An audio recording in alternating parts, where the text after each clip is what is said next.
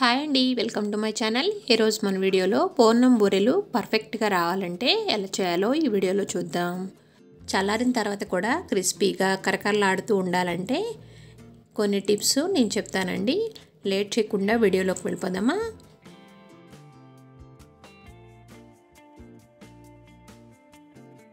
ముందుగా దీనికోసం ఒక బౌల్లో వన్ గ్లాసు మినపప్పు తీసుకున్నానండి. నేను పొట్టు తీసుకున్నాను. పొట్టు మినపప్పు అయితే టేస్ట్ చాలా బాగుంటుందండి. అంటే మెజర్మెంట్స్లో పావు కిలో తీసుకున్నాను. తీసుకొని దీంట్లో వాటర్ వేసుకొని మూడు గంటలు కానీ లేదా ఓవర్ నైట్ కానీ నానబెట్టుకోవాలి. నేను ఓవర్ నైట్ నానబెట్టుకున్నానండి. దీంతో పాటే మనం బియ్యం కూడా ఒక బౌల్లో నానబెట్టుకోవాలి. మనం పప్పు ఎంత తీసుకున్నామో రైస్ కూడా అంతే క్వాంటిటీలో తీసుకోవాలండి. ఈ విధంగా తీసుకొని పప్పుతో పాటే రైస్ని కూడా నానబెట్టుకోవాలి. ఈ విధంగా పప్పు నానిన తర్వాత ఈ పప్పుని బాగా కడిగి ఈ పొట్టు మొత్తం పోయే వరకు కడుక్కోవాలండి. ఇలా కడిగి పక్కన పెట్టుకోవాలి. ఈ విధంగా కడిగిన పప్పుని దీంట్లో రైస్ని కూడా త్రీ ఫోర్ టైమ్స్ బాగా వాష్ చేసుకొని ఈ రైస్ని ఈ పప్పుని బాగా మిక్స్ చేసుకోవాలి. ఈ మొత్తాన్ని బాగా మిక్స్ చేసుకొని మిక్సీ జార్ తీసుకొని దోశల పిండి కంటే కొంచెం గట్టిగా మిక్సీ వేసుకొని ఒక బౌల్లో వేసుకోవాలి.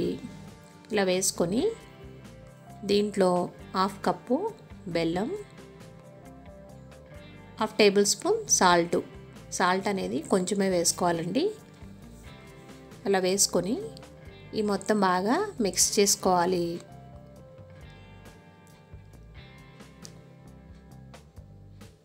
ఈ విధంగా బాగా కలుపుకొని ఒక రెండు గంటలు పక్కన వదిలేయాలండి. అలా వదిలేస్తేనే మనకి పూర్ణం అనేది క్రిస్పీగా కరకరలాడుతూ సాఫ్ట్గా వస్తుందండి. ఈ విధంగా కలిపేసుకొని పూర్తిగా మూత పెట్టుకొని పక్కన పెట్టుకోవాలి. నెక్స్ట్ ప్రాసెస్కి వెళ్ళిపోదాం. ఇప్పుడు కుక్కర్లో శనగపప్పు త్రీ హండ్రెడ్ గ్రామ్స్ తీసుకుంటున్నాను. ఇలా తీసుకొని ఈ పప్పుని బాగా కడిగి త్రీ ఫోర్ టైమ్స్ కడుక్కోవాలండి. ఇలా కడిగి పెట్టుకొని దీంట్లో వాటర్ వేసుకోవాలి. వన్ అండ్ హాఫ్ గ్లాస్ శనగపప్పు తీసుకున్నాను కాబట్టి త్రీ గ్లాసెస్ వాటర్ వేసుకుంటున్నాను అండి ఇలా త్రీ గ్లాస్ వాటర్ వేసుకొని కుక్కర్ విజులు త్రీ విజిల్స్ వచ్చే వరకు కుక్ చేసుకోవాలండి. మరీ ఎక్కువ విజిల్స్ వేసుకున్న పప్పు అనేది బాగా మెత్తగా ఉడికిపోతే బాగోదు. కొంచెం పలుగ్గా ఉంటే మనకి బాగుంటుందండి. ఈ విధంగా త్రీ విజిల్స్ రానివ్వాలి. ఇలా ఉడికిన పప్పుని మనం ఒక బౌల్లోకి వేసుకుందాం. స్టవ్ వెలిగించి మందపాటి గిన్నెను పెట్టుకోవాలండి. ఈ గిన్నెలో ఈ పప్పును వేసుకోవాలి. దీంట్లో కొంచెం వాటర్ ఉన్నాయి కాబట్టి మనకి పప్పు కూడా కొంచెం పలుకుంది కాబట్టి ఈ వాటర్ అంతా పూర్తిగా డ్రై అయ్యే వరకు కుక్ చేసుకోవాలి.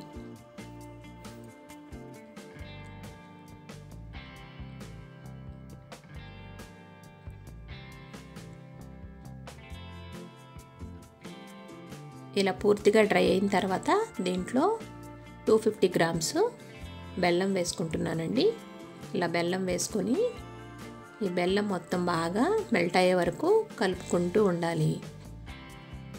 ఎందుకంటే మనకి ఈ బెల్లం వేసిన తర్వాత అడిగంటిపోతుందండి ఊరికినే. అందుకని కలుపుతూనే ఉండాలండి. మీడియం ఫ్లేమ్లో ఈ పప్పు మొత్తం ఈ బెల్లం పాకం వచ్చే వరకు కలుపుతూ ఉండాలండి.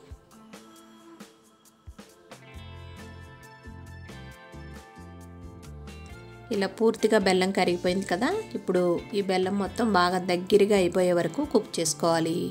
ఈ విధంగా ఇలా డ్రై అయిపోయే వరకు కుక్ చేసుకొని దీంట్లో వన్ టేబుల్ స్పూన్ ఇలాచీ పౌడర్ వేసుకుంటున్నాను. ఇలాచీ పౌడర్ వేసుకొని ఒకసారి కలుపుకోవాలండి.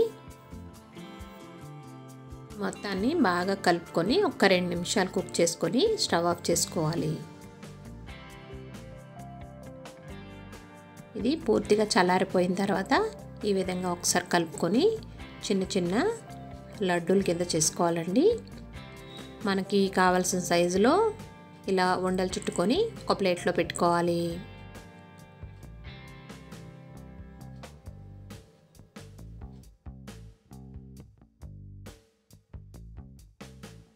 ఇదే విధంగా మొత్తం లడ్డూల్ని చుట్టుకొని ఒక ప్లేట్లో పెట్టుకొని ముందుగా మనం కలిపి పెట్టుకున్న పిండిని కూడా ఒకసారి బాగా ఇలా వీడియోలో నేను చూపిస్తున్న విధంగా ఇలా అనుకోవాలండి. ఇలా అనుకోవడం వల్ల పూర్ణం అనేది గుల్లగా వస్తుందండి. ఇలా బాగా కలిపి పెట్టుకొని ఈ ఉండని ఈ పిండిలో వేసుకొని ఇలా పిండి మొత్తంలో ఇలా డీప్ చేసుకొని స్టవ్ వెలిగించి ప్యాన్ పెట్టుకొని డీప్ ఫ్రైకి సరిపడా ఆయిల్ వేసుకొని ఆయిల్ హీట్ అయిందో లేదో చూసుకొని మీడియం ఫ్లేమ్లో పెట్టుకొని ఈ పూర్ణాలని ఒక్కొక్కటి ఈ విధంగా వేసుకోవాలి. వీడియోలో నేను చూపిస్తున్న విధంగా మరి పక్క పక్కన వేసుకోకుండా కొంచెం గ్యాప్ ఇచ్చుకుంటూ ఒక్కొక్కటి ఇలా వేసుకోవాలండి. మనం వేసుకునేటప్పుడే ఒకవేళ ఎక్కడన్నా హోల్లా అనిపిస్తే కనుక దాని మీద కొంచెం పిండితో కవర్ చేసుకోవాలి. అప్పుడే పూర్ణం అనేది చీదకుండా ఉంటుంది. చీదిందంటే ఆయిల్ అంతా నల్ల నల్లగా అయిపోతుందండి. కాబట్టి చూసి వేసుకోవాలి. ఈ విధంగా మొత్తం పూర్ణాలని వేసుకోవాలి. పూర్ణాలు వేసిన తర్వాత ఒక నిమిషం పాటు కలపకుండా ఉండాలండి. వెంటనే కలిపామంటే పూర్ణం అనేది హోల్ పడిపోతుంది చీదేస్తుంది. ఈ విధంగా నిదానంగా కలుపుకోవాలి. వీటిని దోరగా ఫ్రై చేసుకోవాలి. అటు ఇటు టర్న్ చేసుకుంటూ బ్రౌనిష్ వచ్చే వరకు ఫ్రై చేసుకోవాలి. మనకి మీడియం ఫ్లేమ్లోనే ఫ్రై చేసుకోవాలండి. లేకపోతే పైన వేగిపోయి లోపలంతా పచ్చిగా ఉంటుంది కుక్ అవ్వదండి సరిగ్గా. ఈ విధంగా దోరగా ఫ్రై చేసుకొని స్ట్రెయినర్తో ఈ పూర్ణాలని తీసేసుకుంటున్నాను. వీటిని టిష్యూ వే పూర్ణాలు ఫ్రై అయిపోయినాయి కాబట్టి టిష్యూ వేసుకున్న పేపర్లోకి పూర్ణాలని తీసుకుందాం. ఎంతో టేస్టీగా ఉండే ఓన్నం బూరెలు రెడీ అయిపోయినాయండి. సర్వ్ చేసుకుందాం.